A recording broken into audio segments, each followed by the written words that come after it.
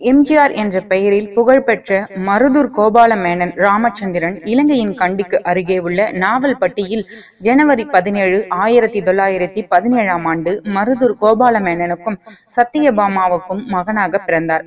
எம்ஜிஆருக்கு இரண்டு மூத்த சகோதரிகளும் இரண்டு மூத்த சகோதரர்களும் உண்டு. முதலாவதாக பிறந்த சகோதரி பெயர் காமாட்சி இரண்டாவதாக பிறந்த மூத்த சகோதரர் பெயர் பாலகிருஷ்ணன்.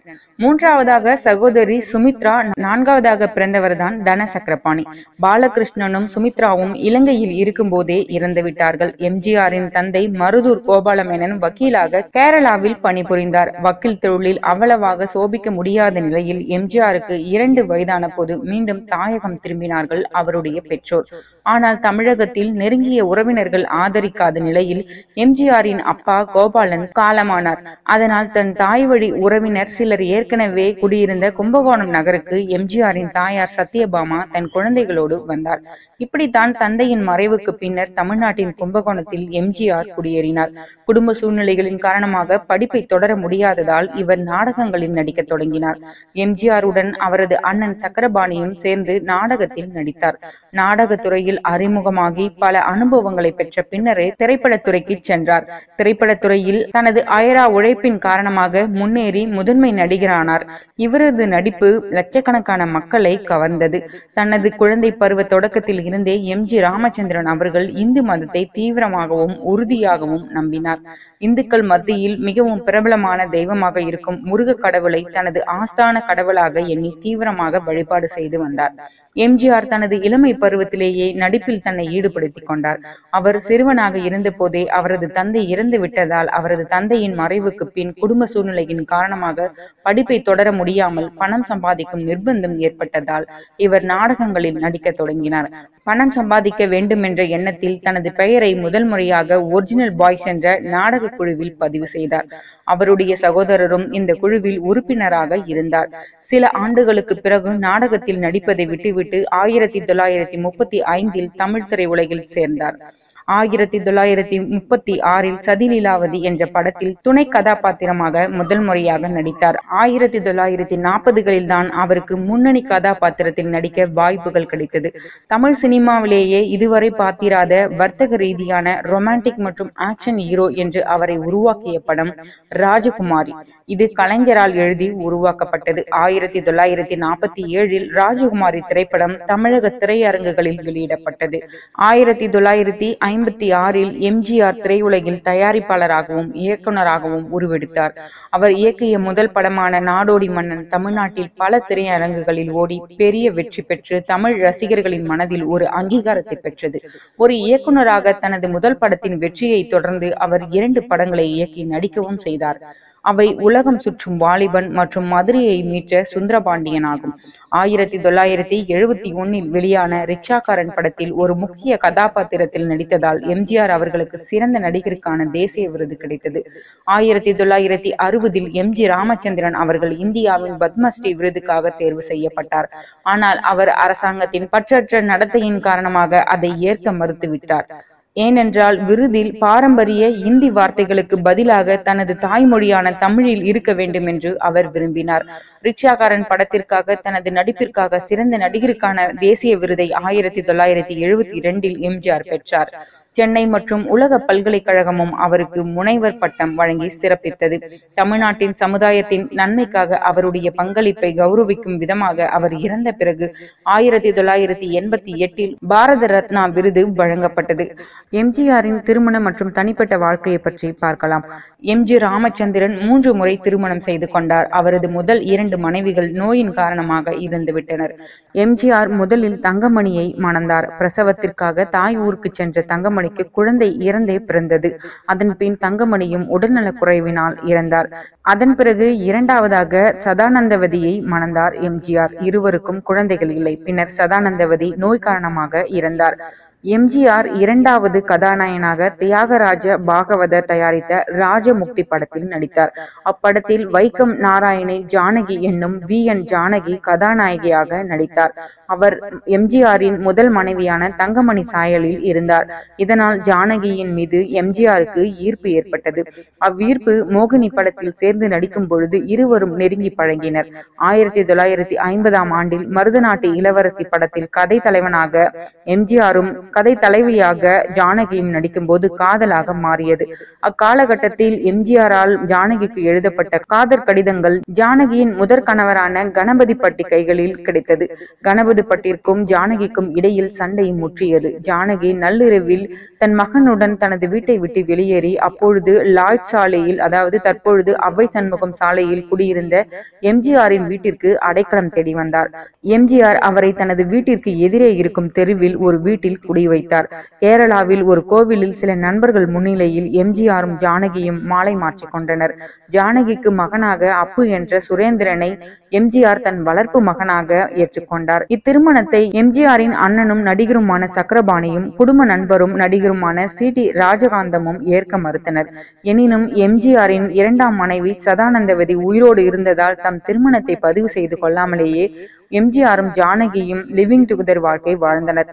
பனிரெண்டு ஆண்டுகள் கழித்து ஆயிரத்தி தொள்ளாயிரத்தி அறுபத்தி ரெண்டு பிப்ரவரி இருபத்தி ஐந்தாம் நாள் சதானந்தவதி மறைந்த பின்னர் ஜூன் பதினான்காம் நாள் எம்ஜிஆரும் ஜானகியும் சட்டப்படி தன் திருமணத்தை பதிவு செய்து கொண்டனர். இருவரும் லாய்ட் சாலை வீட்டிலிருந்து வெளியேறி ராமாவரம் தோட்டத்திற்கு சென்று குடியேறினர். மூன்று திருமணங்கள் என்றாலும் எம்ஜிஆருக்கு குழந்தைகள் இல்லை. எனவே ஜானகி கணபதிபட் ஆகிய இருவருக்கும் பிறந்த அப்பு என்ற சுரேந்திரனையும் ஜானகியின் தம்பியாகிய மணி என்னும் நாராயணன் குழந்தைகளாகிய லதா கீதா சுதா ஜானகி தீபன் ஆகிய ஐவரையும் தன் வளர்ப்பு பிள்ளைகளாக தேர்ந்தெடுத்துக் கொண்டார். எம்ஜிஆர் எத்தனையோ குழந்தைகளுக்கு பாதுகாவலராக இருந்து படிக்க வைத்தார். அதில் முக்கியமான இரண்டு பேர் தற்போது அரசியலை கலக்கி வரும் துரைமுருகன் மற்றும் சினிமாவில் வலம் வந்த கோவை சரளா என்று எம்ஜிஆர் இருபத்தி ஐந்தில் ஆனந்த விகடன் இதழ் குறிப்பிட்டுள்ளது. எம்ஜிஆரின் செல்ல பிராணிகள் பற்றி பார்க்கலாம். எம்ஜிஆர் ராஜா ராணி என்ற பெயர்களுடைய இரண்டு சிங்கங்களை வளர்த்தார். ராணி சிங்கம் இறந்துவிட ராஜா சிங்கமும் உடல் தளர்த்திருந்தது. அது தனியாக இருக்க வேண்டாம் என வண்டலூர் உயிரியல் பூங்காவிற்கு அளித்தார். சிங்கங்களை தவிர எம்ஜிஆர் தனது வீடு அமைந்திருந்த ராமாவரம் தோட்டத்தில் ஆடு மாடு கோழி நாயுடன் ஒரு ஒரு கரடியும் வளர்த்தார். இவற்றை கவனிக்க தனி மருத்துவரையும் பணியமர்த்திருந்தார். சிறு குட்டியாக எம்ஜிஆரிடம் இருந்த கரடி வளர்ந்ததும் மருத்துவரின் உதவியுடன் மூக்கில் சங்கிலி இணைக்க ஏதுவாக துளையிட முயன்றபோது எதிர்பாராத விதமாக இறந்துவிட்டது. இதை நடிகர் சங்கத்தின் நாளிதழில் ஒரு பேட்டியின் போது வேதனையுடன் குறிப்பிட்டுள்ளார் எம்ஜிஆர். எம்ஜிஆரின் மறைவுக்கு பிறகு அவரது மூன்றாவது மனைவியான ஜானகி ராமச்சந்திரன் அவர்கள் அஇஅதிமுகவின் பொறுப்பை ஏற்றார். எம். ஜி. ராமச்சந்திரன் அவர்களுக்கு சிறுநீரக பிரச்சனைகள் இருந்தது. சிறுநீரக கோளாறு காரணமாக ஆயிரத்தி தொள்ளாயிரத்தி எண்பத்தி நான்காம் ஆண்டு அக்டோபரில் அமெரிக்காவின் புரூக்லின் நகரில் உள்ள டவுன் ஸ்டேட் மருத்துவமனையில் அனுமதிக்கப்பட்டார். அதே ஆண்டு சிறுநீரக மாற்று அறுவை சிகிச்சை மேற்கொண்டார். இறுதியாக ஆயிரத்தி தொள்ளாயிரத்தி எண்பத்தி ஏழில் நோய்வாய்ப்பட்டார். டிசம்பர் இருபத்தி நான்காம் தேதி ஆயிரத்தி தொள்ளாயிரத்தி எண்பத்தி ஏழில் இயற்கை எழுதினார். எம்ஜிஆருடைய மரணம் தமிழ்நாட்டில் பெரும் கொந்தளிப்பை ஏற்படுத்தியது. கட்டுக்கட அடங்காத மக்களையும் அதிக அளவில் போராடி உயிரிழந்த உணர்ச்சி தமிழர்களையும் நிர்வகிக்க தமிழக அரசும் போலீஸ் அதிகாரிகளும் கடுமையாக போராடினர். அவரது மறைவுக்கு பின் அஇஅதிமுக இரண்டு பிரிவுகளாக பிரிந்தது. ஒன்று அவரின் மனைவி ஜானகி ராமச்சந்திரன் தலைமையிலும் மற்றொன்று ஜே ஜெயலலிதா தலைமையிலும் தனித்தனி கட்சிகள் உருவாக்கின. அவரது சத்யா ஸ்டுடியோ இப்போது ஒரு பெண்கள் கல்லூரியாக உள்ளது. சென்னை டி நகர் பகுதியில் உள்ள அவரது வீட்டை தமிழக அரசு நினைவு இல்லமாக மாற்றி பராமரித்து வருகிறது. எம்ஜிஆர் அவர்களுடைய கால வரிசைகளை பற்றி பார்க்கலாம். ஆண்டு வாரியாக ஆயிரத்தி தொள்ளாயிரத்தி பதினேழாம் ஆண்டு எம். ஜி. ராமச்சந்திரன் அவர்கள் ஜனவரி பதினேழில் பிறந்தார். ஆயிரத்தி தொள்ளாயிரத்தி முப்பத்தி ஆறில் தமிழக திரையுலகில் அறிமுகமானார். ஆயிரத்தி தொள்ளாயிரத்தி நாற்பத்தி ஏழில் அவரின் முதல் வெற்றி படமான ராஜகுமாரி வெளியானது. ஆயிரத்தி தொள்ளாயிரத்தி ஐம்பத்தி மூன்றில் அரசியல் கட்சியான திராவிட முன்னேற்ற கழகத்தில் சேர்ந்தார். ஆயிரத்தி தொள்ளாயிரத்தி ஐம்பத்தி ஆறில் முதல் முறையாக திரைப்பட இயக்குநராக மாறினார். ஆயிரத்தி தொள்ளாயிரத்தி அறுபதில் பத்மஸ்ரீ விருதை ஏற்க மறுத்துவிட்டார். ஆயிரத்தி தொள்ளாயிரத்தி ஐம்பத்தி மூன்றில் அரசியல் அரசியல் கட்சியான திராவிடர் முன்னேற்ற கழகத்தில் சேர்ந்தார். ஆயிரத்தி தொள்ளாயிரத்தி ஐம்பத்தி ஆறில் முதன்முறையாக திரைப்பட இயக்குநராக மாறினார். ஆயிரத்தி தொள்ளாயிரத்தி அறுபத்தி இரண்டில் மாநில சட்டமன்றத்தின் உறுப்பினரானார். ஆயிரத்தி தொள்ளாயிரத்தி அறுபத்தி ஏழில் தமிழ்நாடு சட்டமன்றத்திற்கு தேர்வு செய்யப்பட்டார். ஆயிரத்தி தொள்ளாயிரத்தி அறுபத்தி ஏழில் எம். ராதாவால் கழுத்தில் சுடப்பட்டார். ஆயிரத்தி தொள்ளாயிரத்தி அறுபத்தி ஒன்பதில் திமுக பொருளாளராக மாறினார். திமுக பொருளாளராக மாறினார். ஆயிரத்தி தொள்ளாயிரத்தி எழுபத்தி ரெண்டில் தனது சொந்த அரசியல் கட்சியான அதிமுகவை உருவாக்கினார். ஆயிரத்தி தொள்ளாயிரத்தி எழுபத்தி ரெண்டில் ரிச்சா கரன் படத்திற்காக தேசிய விருதை வென்றார். ஆயிரத்தி தொள்ளாயிரத்தி எழுபத்தி ஏழில் முதல் முறையாகவும் மூன்று முறை தொடர்ந்தும் தமிழ்நாட்டின் முதலமைச்சரானார். ஆயிரத்தி தொள்ளாயிரத்தி எண்பத்தி நாலில் சிறுநீரக கோளாறால் பாதிக்கப்பட்டு சிறுநீரக மாற்று அறுவை சிகிச்சை மேற்கொண்டார். ஆயிரத்தி தொள்ளாயிரத்தி எண்பத்தி ஏழில் டிசம்பர் இருபத்தி நான்காம் தேதி இறந்தார். ஆயிரத்தி தொள்ளாயிரத்தி எண்பத்தி எட்டு இறப்பிற்கு பின் பாரத ரத்னா விருதை அரசு அவருக்கு வழங்கியது. இனி எம்ஜிஆரின் அரசியல் வரலாற்றை சுருக்கமாகவும் விளக்கமாகவும் பார்க்கலாம். ஆயிரத்தி தொள்ளாயிரத்தி ஐம்பத்தி ரெண்டில் திமுகவில் சேர்ந்தார். ஆயிரத்தி தொள்ளாயிரத்தி ஐம்பத்தி ஏழில் முதல் முறையாக திமுகவை ஆதரித்து தமிழகம் முழுவதும் தேர்தல் பிரச்சாரம் செய்தார். பதினைந்து இடங்களில் திமுக வென்றது. ஆயிரத்தி தொள்ளாயிரத்தி ஐம்பத்தி எட்டு சென்னை வருவதாக இருந்த நேருவுக்கு கருப்பு கொடி காட்ட திமுக முனைந்த போது முன்னெச்சரிக்கை நடவடிக்கையாக எம்ஜிஆர் எஸ் எஸ் ஆர் கைது செய்யப்பட்டு சென்னை மத்திய சிறையில் அடைக்கப்பட்டனர். ஆறு நாட்கள் சாதாரண வகுப்பில் இருந்தனர் அவர்கள்.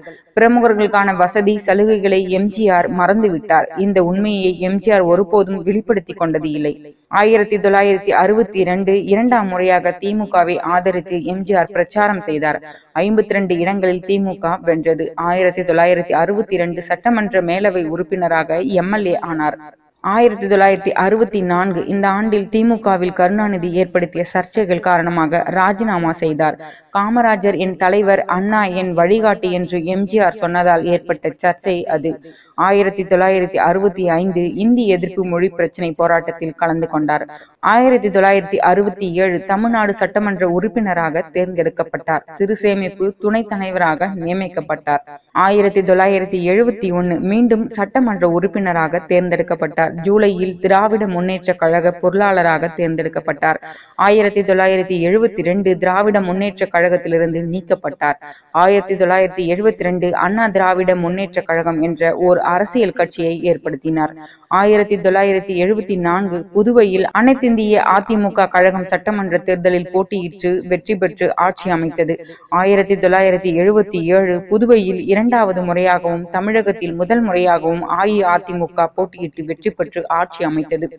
ஆயிரத்தி தொள்ளாயிரத்தி எண்பது அஇஅதிமுக ஆட்சி கலைக்கப்பட்டது. பாராளுமன்ற தேர்தல் தோல்வியின் காரணமாக ஆயிரத்தி தொள்ளாயிரத்தி எண்பது தமிழகத்தில் நடந்த மறு சட்டமன்ற பொது தேர்தலில் போட்டியிட்டு அஇஅதிமுக ஆட்சி அமைத்தது. ஆயிரத்தி தொள்ளாயிரத்தி எண்பத்தி ஒன்னு மதுரையில் ஐந்தாம் உலக தமிழ் மாநாடு இந்திய பிரதமர் இந்திரா காந்தி தலைமையில் சிறப்புடன் நடத்தினார். ஆயிரத்தி தொள்ளாயிரத்தி எண்பத்தி ரெண்டு மாநிலத்திற்கு அரிசி தேவைக்கு உண்ணாவிரதம் மேற்கொண்டார். ஆயிரத்தி தொள்ளாயிரத்தி எண்பத்தி நான்கு அமெரிக்க மருத்துவமனையில் சிகிச்சை பெற்ற போது நடந்த சட்டமன்ற பொது தேர்தலில் அதிமுக போட்டியிட்டு ஆட்சி அமைத்தது. ஆயிரத்தி தொள்ளாயிரத்தி எண்பத்தி ஏழு இலங்கை தமிழர்கள் அமைதி காக்க இந்திய பிரதமர் ராஜீவ்காந்தி இலங்கை பிரதமர் ஜெயவர்த்தனா ஒப்பந்தம் ஏற்பட பாடுபட்டார். இவரது கட்சி ஆயிரத்தி தொள்ளாயிரத்தி எண்பத்தி எட்டில் பிரிந்து ஆயிரத்தி தொள்ளாயிரத்தி எண்பத்தி ஒன்பதில் இணைந்தது. ஆயிரத்தி தொள்ளாயிரத்தி தொண்ணூத்தி ஒன்னு முதல் ஆயிரத்தி தொள்ளாயிரத்தி தொண்ணூத்தி ஆறு வரையிலும் இரண்டாயிரத்தி ஒன்று முதல் இரண்டாயிரத்தி ஆறு வரையிலும் இரண்டாயிரத்தி பதினொன்று முதல் இன்று வரை அனைத்திந்திய அண்ணா திராவிட முன்னேற்ற கழகம் ஜெ. ஜெயலலிதா தலைமையில் ஆட்சி அமைத்திருக்கிறது. இவர் கடவுள் நம்பிக்கையற்ற நாத்திக கொள்கைகளை கடைபிடிக்கும் திராவிட கட்சியில் இருந்த போதிலும் தமிழ்நாட்டில் பலர் இவரை கடவுள் போலவே போற்றினார்கள். இன்றும் இவருக்காகவே அனைத்திந்திய இந்திய அண்ணா திராவிட முன்னேற்ற கழகத்துக்கு வாக்களிப்பவர்கள் தமிழ்நாட்டில் உள்ளனர். இது அவருக்கு மக்கள் மத்தியில் இருந்த பெரும் செல்வாக்கை காட்டுகிறது. இவர் கொண்டு வந்த திட்டங்கள் என்னென்ன என்பதையும் பார்க்கலாம். அதாவது சத்துணவு திட்டம் விதவை ஆதரவற்ற பெண்களுக்கு திருமண உதவி திட்டம் தாலிக்கு தங்கம் வழங்குதல் மகளிருக்கு சேவை நிலையங்கள் பணிபுரியும் பெண்களுக்கு தங்கும் விடுதிகள் தாய்சை நல இல்லங்கள் இலவச சீருடை வழங்குதல் திட்டம் இலவச காலணி வழங்குதல் திட்டம் இலவச பற்பொடி வழங்குதல் திட்டம் இலவச பாடநூல் வழங்குதல் திட்டம். வறட்சி காலத்தில் லாரிகள் மூலம் குடிநீர் வழங்குகின்ற திட்டம். இவை அனைத்தும் எம்ஜிஆர் கொண்டு வந்தவை. தமிழ்நாடு அரசு எம்ஜிஆர் நினைவாக சென்னையில் மெரினா கடற்கரையில் அண்ணா நினைவிடத்திற்கு அருகில் அவரது உடல் புதைக்கப்பட்டது. அந்த இடத்தில் எம்ஜிஆர் நினைவிடம் அமைக்கப்பட்டுள்ளது. இங்கு எம்ஜிஆரின் மார்பளவு சிலை அமைக்கப்பட்டுள்ளது. எம்ஜிஆரின் அரிய புகைப்படங்களும் அவருடைய சில பொருட்களும் மக்களின் பார்வைக்கு தனி கட்டிடத்தில் வைக்கப்பட்டுள்ளன. தாமரை மலர் விரிந்த நிலையில் இருப்பது போன்ற அமைப்பின் நடுவே அவர் உடல் வைக்கப்பட்டுள்ள சமாதி உள்ளது. சமாதியின் அருகே நினைவு தூண் ஒன்றும் அமைக்கப்பட்டுள்ளது. எம்ஜிஆரின் பிறந்த நாள் மற்றும் நினைவு நாளில் பல கட்சிகளைச் சேர்ந்த தலைவர்களும் தொண்டர்களும் வந்து அஞ்சலி செலுத்துகின்றனர். தினமும் ஆயிரக்கணக்கானோர் இந்த நினைவிடத்திற்கு வருகை தந்து தங்களின் அன்பு தலைவருக்கு மரியாதையும் செலுத்துகின்றனர். சென்னை கடற்கரையில் உள்ள எம்ஜிஆர் நினைவிடத்தில் தினமும் அன்னதானம் வழங்க வேண்டும் என்று அதிமுக உறுப்பினர் சி. கிருஷ்ணன் மார்ச் இரண்டாயிரத்தி பன்னிரண்டு பட்ஜெட் மீதான விவாதத்தின் போது கோரிக்கை விடுத்தார். முன்னாள் முதல்வர் எம்ஜிஆர் ஏழைகளுக்காக பாடுபட்டவர். சென்னை மெரினா கடற்கரையில் உள்ள அவரது நினைவிடம் ஏழைகளுக்கு கோவில் போன்றது. அதனால் கோவில்களில் வழங்கப்படுவதைப் போல அன்னதானம் எம்ஜிஆர் நினைவிடத்திலும் வழங்க வேண்டும் என்று கூறினார். சென்னை டி நகரில் உள்ள ஆற்காடு முதல் தெருவில் அமைந்துள்ளது டாக்டர் எம்ஜிஆர் நினைவு இல்லம். எம்ஜிஆர் இந்த இல்லத்தினை தனது அலுவலகமாக பயன்படுத்தி வந்தார். இல்லத்தின் முன்புறம் டாக்டர் எம்ஜிஆர் நினைவு இல்லம் எனும் அரைவட்ட வடிவிலான பெயர் பலகை அமைக்கப்பட்டுள்ளது. எம்ஜிஆரின் மார்பளவு சிலையொன்று அழகிய சிறு மண்டபத்தில் அமைக்கப்பட்டுள்ளது. இங்கு எம்ஜிஆர் பத்தாண்டுகளுக்கு மேலாக பயன்படுத்திய T M X four triple seven எண்ணுள்ள அம்பாசிடர் கார் வைக்கப்பட்டுள்ளது. மேலும் எம்ஜிஆருக்கு வழங்கப்பட்ட பரிசு பொருட்களும் அவர் பயன்படுத்திய பொருட்களும் இந்த இல்லத்தில் வைக்கப்பட்டுள்ளது வைக்கப்பட்டுள்ளன இந்த தகவல்கள் உங்களுக்கு பிடிச்சிருந்தா லைக் பண்ணுங்க உங்க ஃப்ரெண்ட்ஸுங்களுக்கும் ஷேர் பண்ணுங்க. கூடவே எங்களோட சேனலை சப்ஸ்கிரைப் பண்ணிக்கோங்க. பக்கத்துல இருக்கிற பெல் ஐக்கானையும் கிளிக் பண்ணிக்கோங்க. அப்பதான் எங்களோட அப்டேட்ஸ் உங்களுக்கு உடனுக்குடன் வரும். தேங்க்யூ ஃபார் வாட்சிங்